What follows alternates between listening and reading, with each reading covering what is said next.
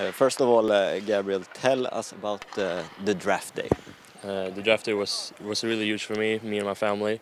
My whole family was there with me, and I mean, sitting there waiting a long time, and then finally heard your name called up by the Columbus. It was a huge honor, and uh, I think uh, I'll never forget that moment. It was really really cool. And uh, you have played uh, uh, with uh, Team Sweden here, the juniors in Lake Placid earlier this summer. Uh, how was it?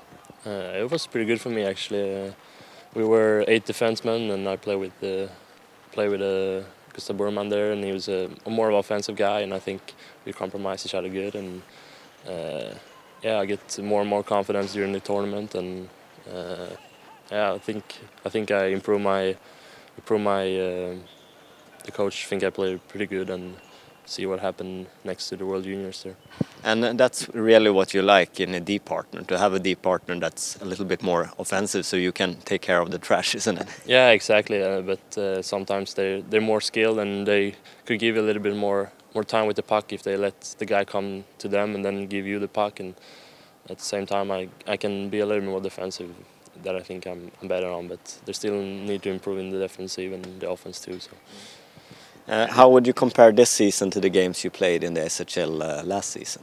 Uh, so far, I I think I'm I have been a little bit stronger, and the game is not as fast as it was. It's still the same fast, but I think I'm uh, like getting better with it. And uh, the last season, I played a couple games in the in the playoffs there, so we were much much different play, like uh, more more intense and more physical play. And now it's it's a little bit uh, different in the in the start of the season. It's not the same timing and stuff, but uh, I think it would be different the longer the season is. What do you see as your biggest challenge this season? I think it's to to be in the to be in the moment. I mean, don't don't think about too much the future or in the past, or just live in the moment and take it day by day and be better at every practice and in the game. Uh, what did you think of Columbus and uh, being at the development camp? Uh, I thought my father was really good, uh, really really beautiful uh, organization and and the and the place there with Nationwide Arena. They have the second uh, the training arena there too. I thought it was really good and uh, everyone was, were kind to you and there were some Swedes there also. So it was it was pretty fun there. Great experience. And uh, uh, what was the tips that you got from Columbus going back to Sweden? Uh, especially that I have to put on some more weight. Uh, I'm a big guy and I still need to fill up my frame a little bit more. But uh, they also said it's, it's no hurry. Take it, eat much, and it, it will come and train hard. So uh, mostly go up some kilos, I think.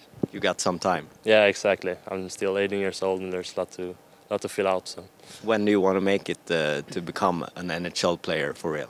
uh, as soon as possible. But I mean, uh, there's I'm still 18 years old and I think I could improve a, a lot of stuff more. Uh, uh, I don't think it's good to hurry too much. I mean, I want to be ready when the when the chance might come. Or uh, yeah, I think it's hard to say, but you just try to work every day and then hope to be there as fast as possible.